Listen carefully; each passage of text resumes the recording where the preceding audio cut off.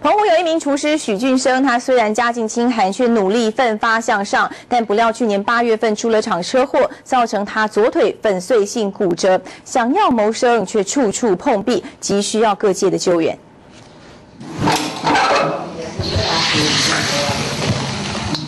不是拄着拐杖，从壮硕的身材、利落的身手，任谁都不容易察觉。二十五岁的许俊生不良于行。拄着拐杖自理三餐，原本和爸爸相依为命的他，却陆续遭逢父亲病逝和这场意外的发生。他为什么会会受受伤成这个样子？车祸，车祸摔倒。九个月前的一场车祸，造成许俊生左大腿粉碎性骨折，被送医急救后，动了几次刀却不见起色，让前来探视他的社工人员看了好着急。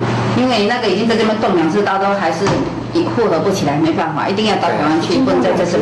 脚受伤，求职处处碰壁，年轻人未来可期。为了帮许俊生完成未完成的学业，自食其力，社工团体也期待社会大众能协助他渡过难关，让人生重新站起来。